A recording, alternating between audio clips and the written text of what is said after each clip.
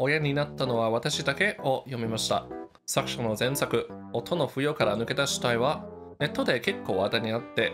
本作もまた夫婦の問題を描写する作品です。今回はソーシャルワーカーの妻と保育士の夫の話です。妻が妊娠してから考え方の違いや子育ちの責任の分担でいろいろすれ違いがあって婚姻に日々が生じた。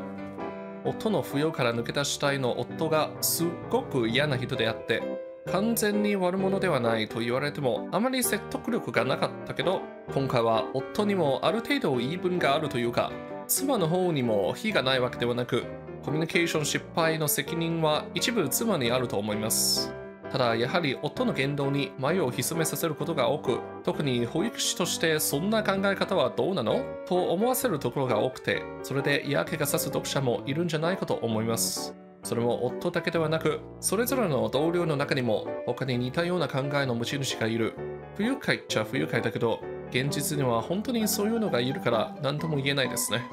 ただ幸いなことに上司と職場全体は割と育児に理解があるから休暇や勤務時間には多少融通が利きます。まあ社会福祉法人や保育園が子育てに理解を持たないならそれはもう本当に終わってるからね。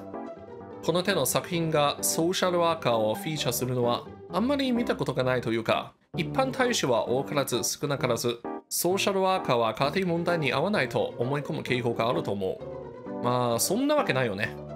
実際私の身内にも一回崩れ再婚したソーシャルワーカーがいてその人は後ほど自分の経験に照らし合わせて婚姻問題離婚と再婚の専門家及び講師になったわけですよ。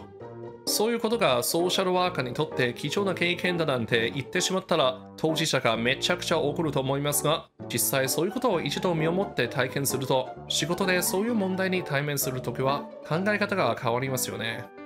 というわけで、親になったのは私だけの感想でした。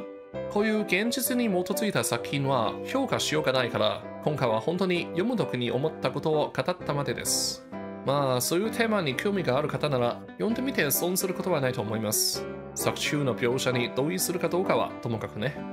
偏りすぎたと思う人がいれば、双方結構問題があると思う人もいるかもしれない。